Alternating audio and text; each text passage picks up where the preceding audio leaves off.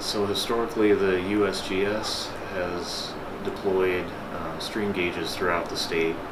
Um, some of them have been in place for over 100 years, and they monitor water levels at specific locations. And then the USGS will go out and create a relationship between the water level and the stream flow. So we can get uh, real-time stream flow estimates everywhere they've got a gauge in place. Um, after the 2008 flood, the Iowa Flood Center, um, hoping to expand upon their the backbone of their network, developed a relatively inexpensive technology that allows us to monitor water levels, um, but maybe doesn't provide the same level of detail that the USGS sensors does, but um, allows us to increase the number of observations we can make.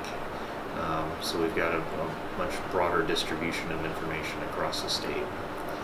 Um, so those are the two water level monitoring networks uh, in the state of Iowa.